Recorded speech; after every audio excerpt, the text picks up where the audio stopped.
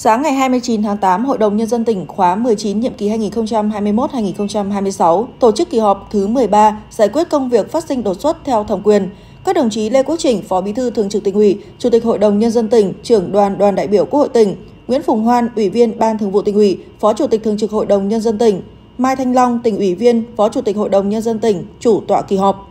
Phát biểu khai mạc kỳ họp, đồng chí Phó Bí thư Thường trực tỉnh ủy, Chủ tịch Hội đồng Nhân dân tỉnh Lê Quốc Trình nhấn mạnh, Tại kỳ họp này, Hội đồng Nhân dân tỉnh sẽ xem xét quyết định những vấn đề quan trọng thuộc các lĩnh vực đầu tư công, nội vụ, tài chính. Cụ thể, quyết định chủ trương đầu tư đối với 9 dự án, điều chỉnh chủ trương đầu tư đối với một dự án đầu tư công, quy định nội dung chi, mức chi tổ chức tuyển dụng công chức viên chức, nâng ngạch công chức, thăng hạng chức danh nghề nghiệp viên chức thuộc phạm vi quản lý của tỉnh, giao số lượng cán bộ công chức cấp xã và người hoạt động không chuyên trách ở cấp xã đối với các huyện thành phố, giao biên chế công chức quản lý hành chính nhà nước, phê duyệt tổng số lượng người làm việc hưởng lương từ ngân sách nhà nước trong các đơn vị sự nghiệp công lập chưa tự đảm bảo chi thường xuyên, các tổ chức hội của tỉnh năm 2023.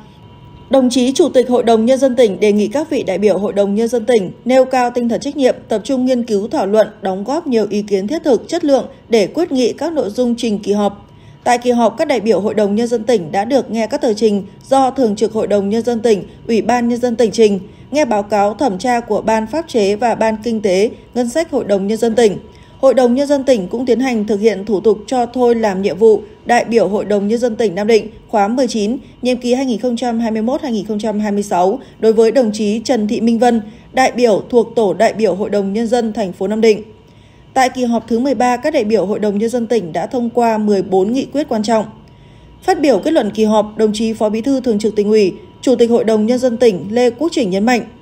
với tinh thần trách nhiệm cao, kỳ họp đã hoàn thành nội dung chương trình đề ra. Đồng chí đề nghị Thường trực Hội đồng Nhân dân, Ủy ban Nhân dân tỉnh, các cấp, các ngành, các địa phương theo chức năng, nhiệm vụ, quyền hạn, chủ động triển khai thực hiện các nghị quyết, đảm bảo đạt hiệu quả cao nhất. Thường trực Hội đồng Nhân dân, các ban Hội đồng Nhân dân và các vị đại biểu Hội đồng Nhân dân tỉnh giám sát việc triển khai thực hiện các nghị quyết.